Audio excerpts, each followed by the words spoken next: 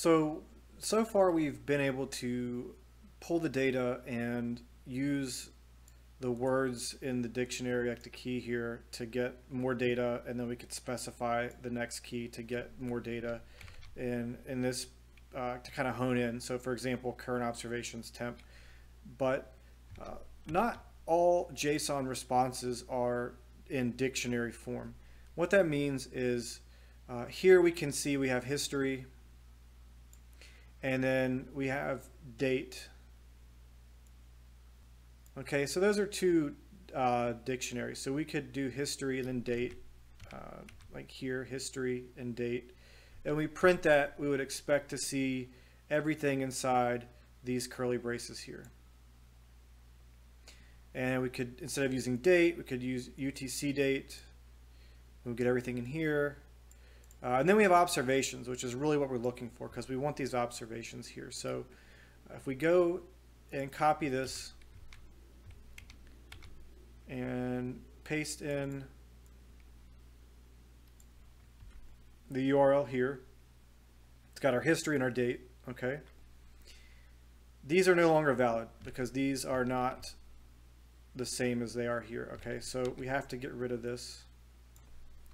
We have to figure out how to hone in on the data that we want, which is somewhere in here. These are all the readings. So if we start, we can see there's a history, a dictionary here, okay, because it's in the curly braces. So we're going to put print R and history. And that looks pretty good. Okay, so that works. And we notice the next option we have is observations. So we can go down here. That's, uh, okay, these are in random order when it prints. It doesn't matter, but there's an observations there. So we can go to observations. So let's give that a shot.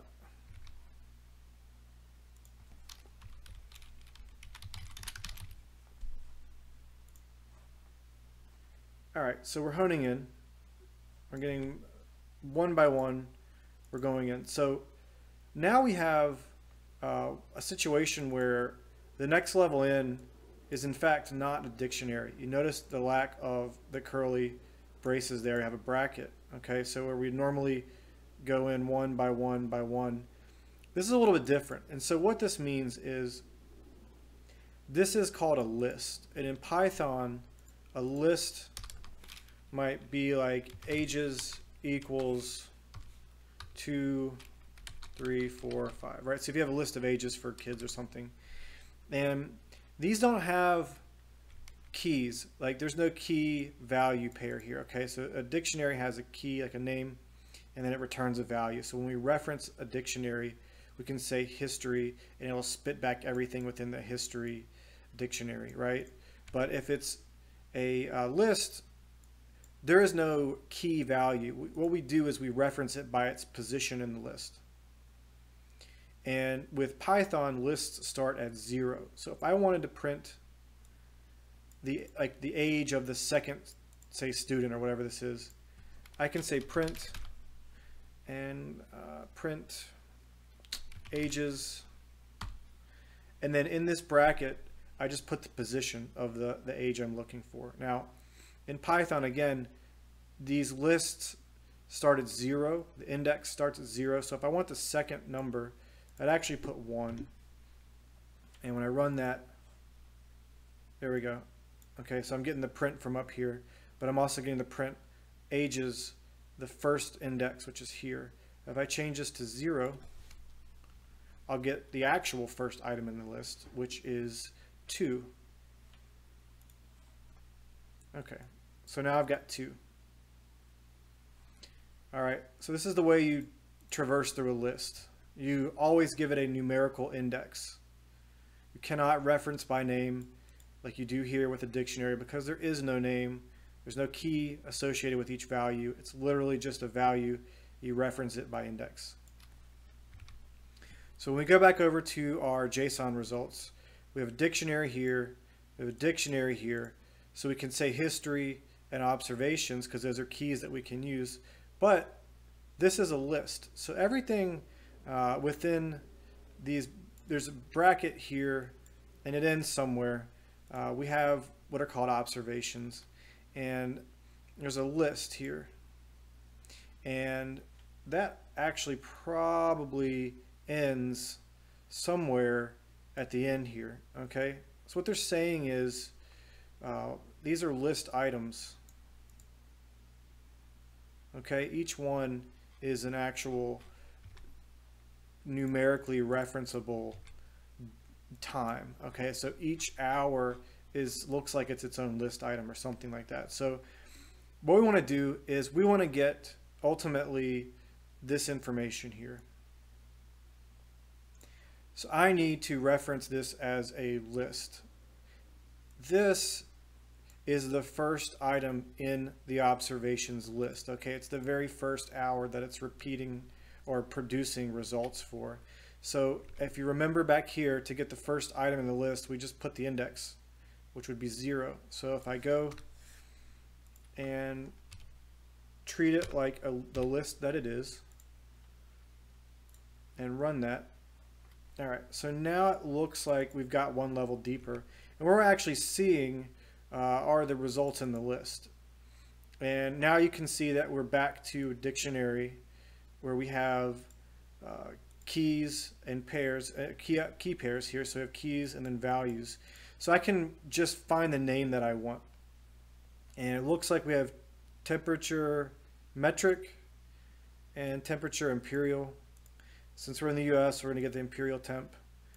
And let's say, so temp I. And this is a dictionary entry, so we can do temp I and run that and there you go. So while this may seem confusing at first, all we're trying to do is start from the top and go level by level to get down, indented down into the actual data that we want. And we see that this is a dictionary, uh, this was a dictionary value, so we can reference these by the name, and then we have a list. So this is the first item in the list, so we have to reference that by its index, which is zero. And then these are uh, dictionary entries. You can tell because it's a, a name and a value with a colon in the middle. So once again, we can reference by name here, by key value.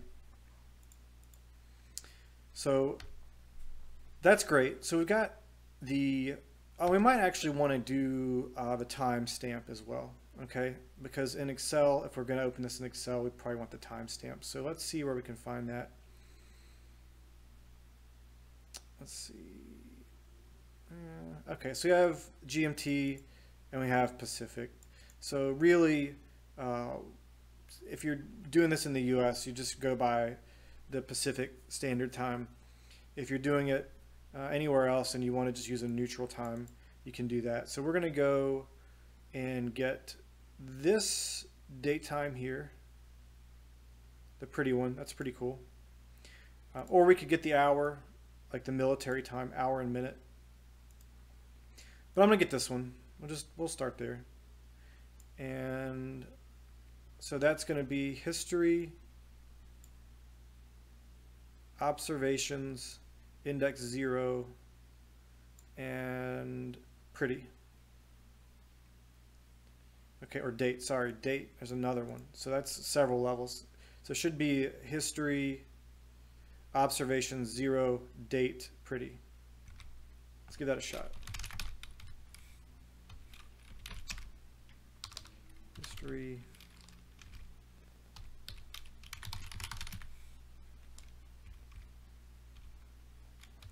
Zero a date. Yeah, date pretty. Okay. Hopefully this works.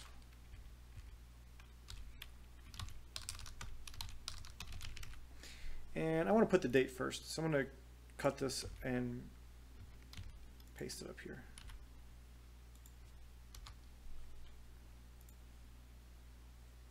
Okay, so now we're getting somewhere. So now we have both the date time and we have the uh, temperature. And so that's pretty powerful.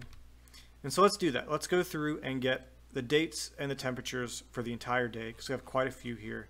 And we'll see what we can do with that, get it out to Excel and make some kind of chart with